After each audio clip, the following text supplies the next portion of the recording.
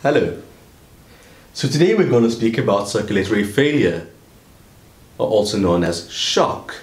So the defining feature of shock is a decrease in the delivery of oxygen to the tissues and failing to meet the metabolic needs. So therefore, shock should not be synonymous with hypotension, as hypotension is often a late manifestation of shock where cardiac output is, main, is low while the blood pressure is maintained. So how can you say in, in objective matter that sh shock might be happening in the patient? You might find an increase in base deficit, an increase in blood lactate, or a decrease in urine output.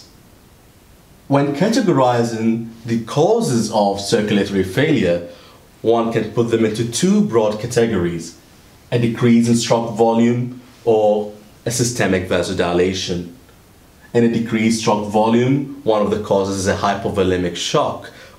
A hypovolemic shock occurs when anything provokes a decrease in blood volume, such as hemorrhage or severe burns. In cardiogenic shock is when there is a severe cardiac impairment, such as in a myocardial infarction or an acute mitral regurgitation.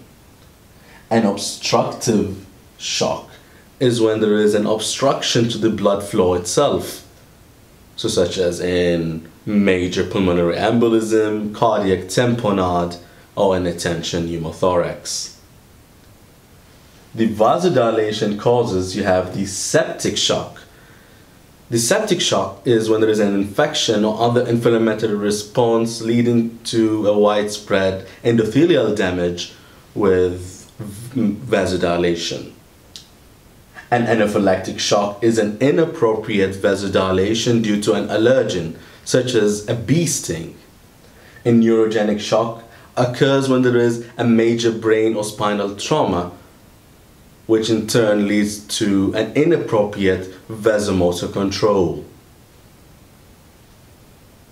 So recognizing the clinical features of circulatory failure is really important as early institution of treatment correlates with a better prognosis.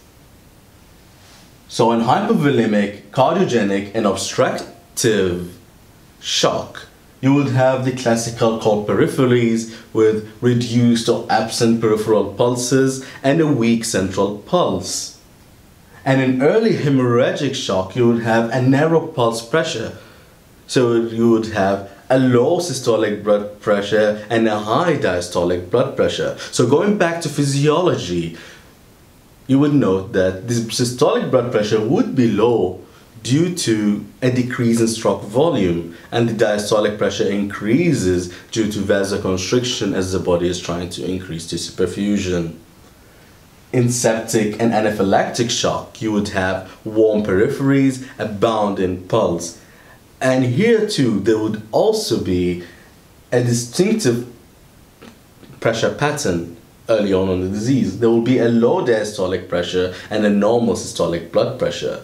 A low diastolic blood pressure is due to the increased vasodilation, and the normal systolic blood pressure is a decrease in the afterload, therefore maintaining the stroke volume. In a neurogenic shock, there would be vasodilation and hypotension. However, due to the abnormal vasomotor response, there would be a paradoxical bradycardia.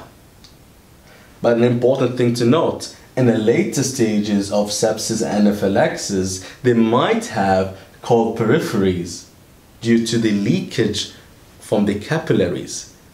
But if you resuscitate them with fluid, they would respond and they would have their warm peripheries.